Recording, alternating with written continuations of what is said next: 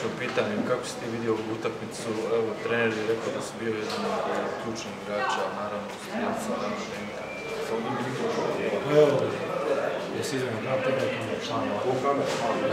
ovaj, Pa evo, jako teška utakmica, normalno imala je veliki ulog, kao je svaka do kraja koja će imat, e, ali bila je Zrinski igrao dobro, mi smo malo slabije ušli tu u ovu utakmicu, ali eto, pogledali se od gore, pobjedili smo i slaviti u srijedu potvrditi ova tri godine.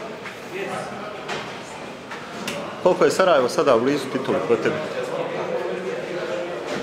Blizu je, ali još ništa nije, još četiri kola, tako da imamo, imamo još dosta toga. Evo, ako sad moramo potvrditi te bodove od dijeljenja, ništa nam neće znači što pobjeda ako, ako tamo napravimo neki kiks, tako da se moramo pripremiti za ovu utakmicu u srijedu.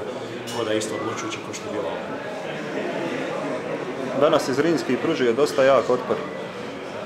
Pa normalno, Zrinski je u top 4 ekipe našeg prvenstva, nisu, nisu bez veze tu da se bore za prvaka, evo sad je ispala situacija da će se, da su dosta odmakli za to prvo mjesto, da smo mi tu, ali eto, to su derbi, e, jedan, jedan gol odlučuje sve, pa mi smo imali tu sreću.